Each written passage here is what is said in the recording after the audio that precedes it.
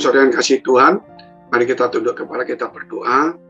Bapa dalam surga yang kami kenal dalam nama Tuhan Yesus. Memberkati umatmu di mana pun mereka berada.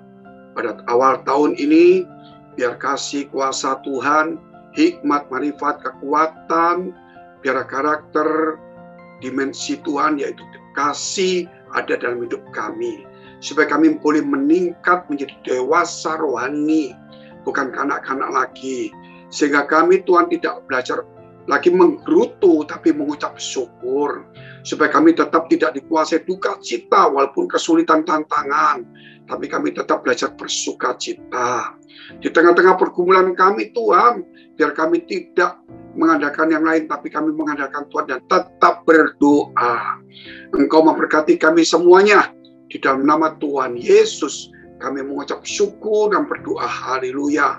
Amin Saudara yang dikasih Tuhan, saya ucapkan juga masih ya suasana tahun baru. Dan juga di dalam Kristen Ortodok itu masih suasana Christmas.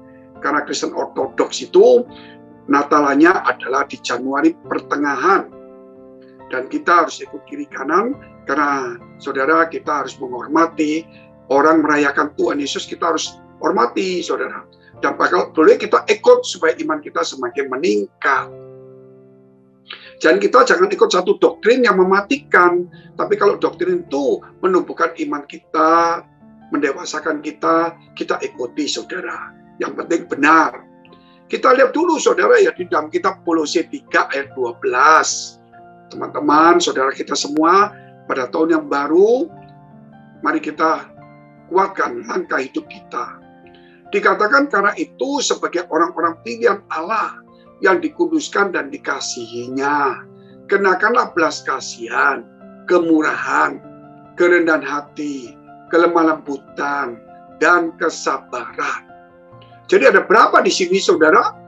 Ya kalau di sini kita lihat disuruh mengenakan orang-orang pilihan Tuhan yang dikuduskan oleh Tuhan. Ada berapa banyak saudara tadi dikatakan ada namanya belas kasihan, saudara. Jadi orang-orang yang, yang merasa pilihan Tuhan dan yang dikuduskan dalam kasih Tuhan. Apakah kita ini pilihan Tuhan? Kalau pilihan Tuhan, berarti kita dikuduskan dan dikasih Tuhan. Kalau saudara yakin dikasih Tuhan, kita ada beberapa hal yaitu mengenakan dalam tahun yang baru ini. Minimal ada lima, yaitu belas kasihan, kemurahan, kerendahan hati, kelemah lembutan, dan kesabaran. Mari kita punya belas kasihan. Gak usah bicara materi, tapi berdoalah. Belas kasihan bicara cuma ampunilah. Belas kasihan belajar mengalah. Belas kasihan belajar saudara, ya untuk juga mengalah untuk sabar. Kalau kita punya belas kasihan, beri kesempatan kepada orang-orang itu. Layani dengan baik, walaupun mungkin saudara orang itu masih belum ngerti, masih model begini begitu termasuk anak kita. Kemurahan. Firman Tuhan berkata apa? Siapa yang bermurah hati akan mendapatkan kemurahan. Marilah kita murahan, bukan kemurahan hati juga mengampuni. Kemurahan hati bukan berarti obral, foya-foya, bukan. Bermurah hati jangan sampai ditipu orang. Kalau orang pura-pura saudara minta belas kasihan, saudara kasih. Coba saudara dekat Tuhan, supaya bisa membedakan mana yang harus, mana yang tidak. Kerendahan hati itu penting. Jangan sampai kita semakin hari diberkati atau dipakai Tuhan, semakin mengerti firman, semakin sombong, tersinggung, salah paham. Ayo kita rendah hati. Karena orang-orang itu bisa membaca karakter kita, membaca tingkah laku kita, perkataan kita. Padahal kelakuan tingkat kita ini adalah bagian dari firman yang bisa dibaca melalui hidup kita. Kelemah lembutan penting sekali di dalam bahasa ya kita, dalam tindakan kita, dalam memimpin, dalam melayani, dalam saudara mungkin ada ide masukan atau menghadapi orang tua, orang tua kepada anak, ayo yang yang bawahan saudara hormati dan punya etika yang atasan atau orang tua. Yang orang tua atasan merangkul saudara bawahan. Ini penting. Itu namanya kelemah lembutan. Dan kesabaran. Sabar. Kadang-kadang kita nggak sabar. Tapi tahun ini masuk kita dimensi Tuhan. Dimensi Tuhan itu apa? Saudara, dimensi Tuhan itu salah satunya itu kasih. Bagi orang yang dikasih Tuhan, ayo kita masuk di dalam dimensi Tuhan. Kasih itu. Apalagi dimensi Tuhan, saudara, kekudusan. Itu dimensi Tuhan. Mari kita hidup dalam kekudusan. Apa dimensi Tuhan itu? Kebenaran firman. Nah ini kebenaran firman. Supaya kita mengenakan hal seperti itu. Kita lihat hal yang kedua. 1 Timotius 6 ayat 11 sampai 12. Sesuai dengan tema gereja kita atau tema kita semua pada tahun 2023 tema tahunan hidup dalam dimensi Tuhan yaitu kita mencari kasih Tuhan, kekudusan, kebenaran firman Allah, hidup di dalam roh, saudara. Bukan di dalam daging. Nah, kita lihat juga 1 Timotius 6 ayat 11 ini. Tetapi engkau hai manusia Allah. Ternyata kita manusia tetapi disebut manusia Allah. Karena roh Allah tinggal pada kita. Tuhan tidak tinggal kepada benda kita. Rumah kita, mobil kita, aroji kita, tas kita yang mahal, berian kita, tidak tapi tinggal di dalam hati kita. Kita itulah berkat, sehingga disebut manusia Allah. Jangan sampai manusia duniawi, tapi manusia Allah. Ketika ada cobaan, ketika kekecewaan, sakit hati, mari tunjukkan manusia Allah, jangan manusia duniawi. Jauhilah semua itu. Apa yang dijauhi, saudara? Yaitu tadi yang di atas 10, ayat 10 itu ada, saudara, tentang hal yang tidak baik. Nanti kita akan lihat ayat 10 ya. Kita lihat dulu yang dijauhi adalah ayat 10, 9, 10. Tetapi yang dikejar adalah lihat keadilan, ibadah, kesetiaan, kasih, kesabaran, kelemah lembutan. Ada enam. Tadi ada lima, ini sekarang ada enam. Yaitu kejarlah keadilan. Tadi disuruh mengenakan, ini sekarang mengejar. Berarti kita punya target. Ya, yaitu keadilan, ibadah, Daud berkata apa? Aku berlari-lari mendahului orang lain dalam kerumunan untuk menuju ke rumah Tuhan. Jangan berlambat-lambat, apalagi sebagai koordinator atau penanggung jawab atau pelayan Tuhan. Kesetiaan, setialah sama Tuhan. Setia dengan pekerjaan pelayanan. Setia dengan komitmen kita. Kasih sudah, kesabaran sudah, kelemah lembutan sudah. Ayat 12. Bertandinglah dalam pertandingan iman yang benar dan rebutlah hidup yang kekal. Jadi hidup yang kekal diberikan kepada Tuhan kepada kita. Tapi kita harus merebutnya. Tuhan beri kepada kita, tapi kalau kita tidak mengambilnya.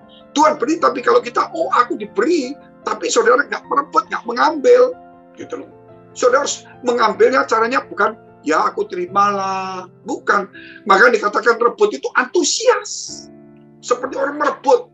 Merebut bukan berarti karena kita nggak dikasih. Karena kita dikasih, mengambilnya seperti merebut itu. Saudara, bukan merebut milik orang lain. Tapi ada antusias. Gitu. Pertandingan iman hidup kita di akhir zaman ini. Untuk itulah engkau telah dipanggil dan telah engkau ikrarkan. Ikrar yang benar di hadapan banyak saksi kita pernah saudara ditasbiskan atau pernah berjanji iman. Coba kita lihat ayat 9 10-nya. Tetapi mereka yang ingin kaya terjatuh ke dalam pencobaan dalam jerat dan ke dalam berbagai-bagai nafsu yang hampa dan yang mencelakakan. Karena kita adalah berkat. Jangan sampai kekayaan menggantikan kita. Berkat itu menggantikan Tuhan juga. Yang menenggelamkan manusia ke dalam keruntuhan dan kebinasaan. Itu yang ditinggalkan. Ayat 10. Karena akan segala kejahatan adalah cinta uang. Sebab oleh memburu uanglah beberapa orang telah menyimpang dari iman dan menyiksa dirinya dengan berbagai-bagai duka. Jangan sampai kekayaan itu menggantikan Tuhan. Jangan sampai kekayaan itu memperbudak kita. Kita adalah berkat ada Tuhan. Sesusah apa pun Tuhan akan menciptakan. Karena kita adalah berkat. Yakinlah apa yang kita kerjakan sesuai dengan firman itu akan jadi. Inilah yang harus dijauhi. Jangan sampai kita punya akar, cinta uang. Saudara yang dikasih Tuhan, saya ingin supaya saudara masuk juga di dalam rencana Tuhan yaitu tadi dikatakan dimensi Tuhan. Nah kita juga masuk resolusi tahun 2023. Resolusinya apa? Hidup dalam dimensi Tuhan. Resolusi tahun 2023 apa? Menjadi inspirasi bagi sesama. Supaya kita itu tahu bahwa kita adalah berkat. Sehingga orang lain ini benar. Gitu loh. Nggak diperbudak. Akhirnya dilihat ini orang akhirnya diberkati. Karena dia adalah berkat. Sehingga orang terinspirasi Jangan menginspirasi orang mengejar berkat di gereja, diperbudak, jangan, saudara. Sehingga dikatakan tema bulan Januari, perubahan hidup dengan karakter Kristus. Itulah karakter Kristus dengan ajaran Yesus kita terima. Mari saudara, jadi saudara hari ini, biar melalui tahun yang baru ini, kita tahu dimensi Tuhan, kita menjadi inspirasi bagi sesama, jangan diperbudak, tetapi kenakanlah sebagai orang yang pilihan Allah yang dikuduskan dikasih Tuhan, kenakanlah tadi lima hal. Sebagai orang saudara manusia Allah, ya marilah kita mengejar keadilan dan sebagainya. Ada enam itu. Mari kita tunduk kepala, kita berdoa. Bagi saudara yang dalam pergumulan, masalah persoalan tangan, jangan lagi ditekan. Hadapi bersama Tuhan. Yakin diri saudara ada Tuhan dan ada kemenangan. Minta hikmat kepada Tuhan dan berdoalah. Dan doa orang benar bila dengan yakin didoakan besar kuasanya. Demikian juga yang sakit tumpang atau bagian sakit. Mari kita berdoa. Dalam nama Yesus, jadilah sembuh, jadilah pulih. Biar doamu dijawab dan kau berhasil.